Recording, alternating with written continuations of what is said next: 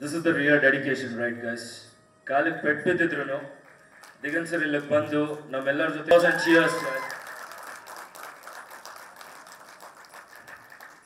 so ಎಲ್ಲರೂ ಸೇರಿ ದೀಪ ಬೆಳಗೋ ಮೂಲಕ